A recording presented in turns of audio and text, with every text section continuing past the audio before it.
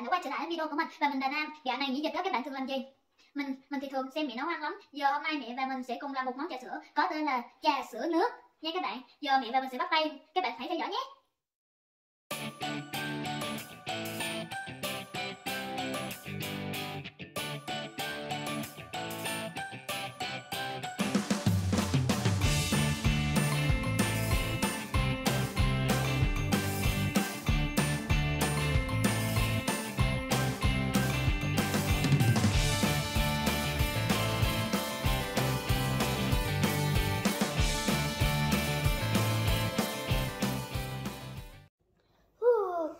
Mình cũng xong rồi các bạn Giờ mình sẽ uống thử cho các bạn nha Trời ơi, mình lúc mình làm mình nghe mùi thơm thơm phất rồi Các bạn nhớ hửi trước nghe mình thấy mùi thơm lắm Mới khúc đầu thôi là mình đã thích luôn rồi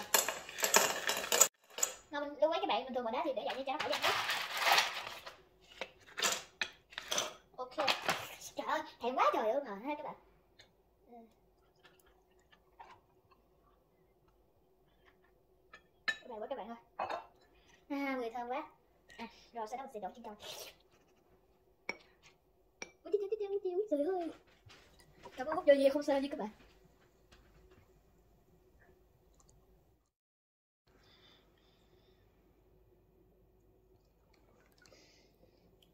Ừ, nó rất là ngon luôn các bạn. Vừa uống vô mình nghe vị trà đậm và vị ngọt đó các bạn. Và có chân, thêm cái vị của nước chân trâu vô nữa. Thì nó cũng rất là ngon luôn các bạn. Thôi clip của mình đến đây là kết thúc rồi. Xin chào và tạm biệt các bạn. Bye bye.